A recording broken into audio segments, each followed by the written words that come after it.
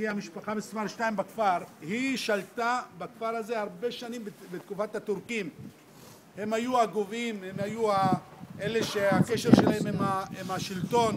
והם אה, היו השליטים פה עד אה, גם בתקופת הבריטים גם בתקופת הבריטים עד קום המדינה אמרתי אה, שייח' ג'בר מועדי הסגן השר הראשון